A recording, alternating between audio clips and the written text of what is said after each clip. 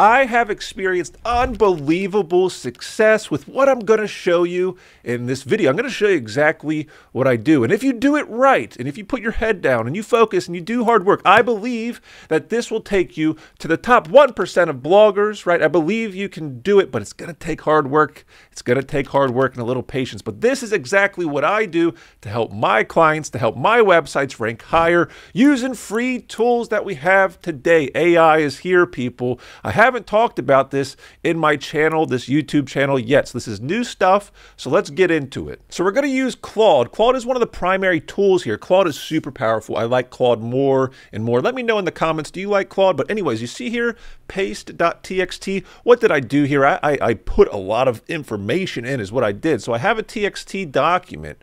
But what is this document all about? What is this data and how are we going to use it? All this stuff, we're going to focus on mesothelioma. Why? Why are we going to use that term? It's because it's one of the most competitive terms in the world, and I'll show you how you can compete using data, using Claude, using ChatGPT, using Word Galaxy, using all the tools at our disposal. So let's go. So let's go on a little journey. I've typed in mesothelioma England up here. Very important, right? Whenever you want to rank for something, type it into Google and see what shows up. I'm telling you, the top guys in SEO do this. This is so simple. But I want to find law firms, right? And the sponsored one up here is a law firm. Great. We're going to click on that in a second. The second one here is presumably a law firm, and then the rest of it right? These are, are government websites. I don't care about these. They're government websites.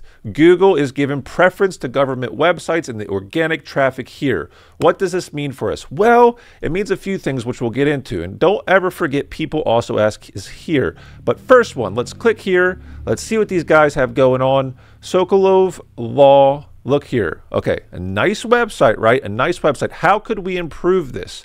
My question is, how could we improve this? But I did a little digging around and I went to their sitemap. Check this out sitemap.xml. Very interesting. And you go to posts here, there's no posts. All right. You go to pages here, there's eight URLs. What does that mean for us? That means that this is merely a Google Ads landing page type of situation. They are not after organic traffic. That's not what we want to go after. They are paid. On this channel, we talk about SEO, which is organic traffic. But now let's look at the second sponsor. We know they're putting money behind this. Listen to me. This website is spending an incredible amount of money to be here.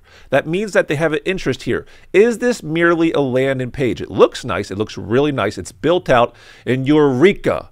Eureka, we have some blog type of things. And look, if we go to the top, ooh, yes, we know that they are building out content to attract organic traffic, and we can use this. Now, don't forget, we're going to come back to Claude right in a second, but it's important to understand what the heck is going on here. So let's go into one of their posts. Let's see what it looks like. Stage one mesothelioma. Okay, let's just click this button up here. I have a plugin called SEO Meta in one click. It's a free uh, Chrome plugin. This is built out like a blog post. Call it what you want, an article, a blog post, content. I don't care. This purpose, this purpose right here, this article, these words on the screen are for being a net. Listen to me, it's like a spider web that attracts organic traffic. And my question to you is how could they have done this article better to rank higher on Google? That's what this whole video is about. This is what I do for my clients. And that's what I'm going to show you right now. So here we go. The thing is running, right? I told you I'd show you, and I'm going to show you, but the thing is running. It's doing an incredible, uh, incredible, listen, listen, I can talk incredible amount of work. This is data scientist stuff, right? But look, I had two attachments up here. Do you see paste2.txt, paste1.txt? I said, here's an article we need to optimize with the attached data set, give suggestions on how to create tables, to incorporate in this article. I'm sure you're confused right now. That's okay because I haven't shown you everything. But what I've done, I'm going to show you right now what I've done. I've taken this article right here. Oops, let's click here. This article, life expectancy. Okay, this article right here, I pushed to Claude in one TXT folder. All right, and then on top of that, we came to Kaggle. I've shown you this before, Kaggle, in the passive backlink series, right? I'll have a link in the description so you can start at the start to learn how I'm doing this stuff. But Kaggle has this incredible data set on mesothelioma related deaths in England from here to here. So I said, Claude, consider what I've written. Claude, consider what I got and show me some cool tables, right? Cool tables to include. But listen, before we get on with it, I want to show you the TXT. This is important, right? About the data set, all these things. I merely extracted the Excel data in here as well as pushing all of this. I just copied this from here down or whatever, right? And I pushed it to this TXT. That's one of them. And then the other one, like I said, is, is that one article. I pushed those to Kaggle, and now it just has it has the article. Let's be very clear. It has one article that we've written that we want to optimize with a data set. And we asked it, what can we do to make this better, more or less? But I asked it tables. And why are tables so good? Why are these cool? Right? Create a table showing life expectancy improvements for different treatments. Why is that cool? And we can reference the data, the official data. It's because whenever you supply Google with new data that doesn't exist before, right? It doesn't exist in this particular way, you are going to rank higher. Make sure it's accurate, but this is new data and Google loves new data. Now let's see if we can get any better. Tell me where to exactly put these tables in the article mention, right, mention the um, headers where they belong.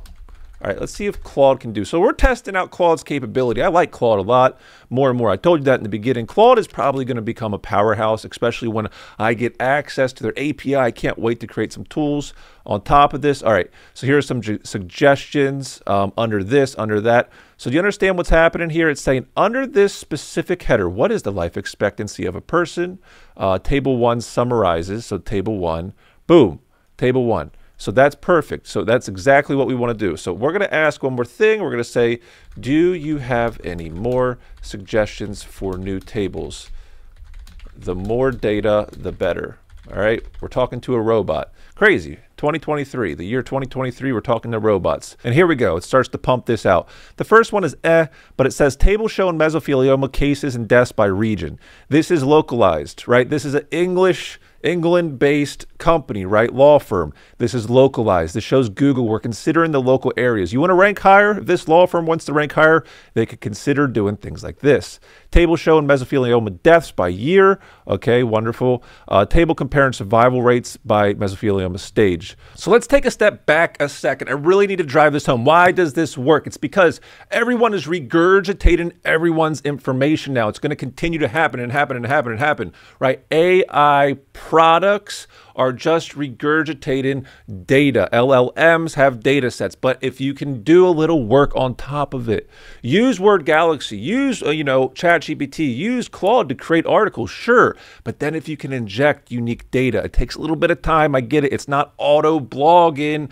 I get it. But guess what? It works. But now, like most things, there's many ways to do this, and I'm going to show you a different tactic, break down this article into a more optimized H2 header structure. All right, here's a suggestion for restructuring this article.